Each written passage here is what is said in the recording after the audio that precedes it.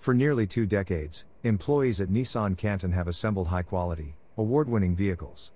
The plant's opening in 2003 brought automotive manufacturing to Mississippi for the first time, and has since contributed to the state's economic development. While its history is rich, the team looks toward future transformation, one that will bring two all new, all electric models to the U.S. market. Nissan celebrates production of 5 million vehicles at Canton Vehicle Assembly Plant. This milestone represents nearly 20 years of Nissan manufacturing in Mississippi and paves the path for electric vehicle production, part of the company's long term vision, Nissan Ambition 2030. The all new 2023 Nissan Frontier stays true to its past while addressing modern midsize truck buyer needs. The all new rugged exterior design features a powerful front end with a massive grille and chiseled hood, framed by new precision interlocking headlights. As the right sized pickup for a work week in the city or weekend of off road adventures, every Frontier, 4x2 or 4x4, comes equipped with a standard 3.8 liter direct injection V6 engine with best in class 310 horsepower.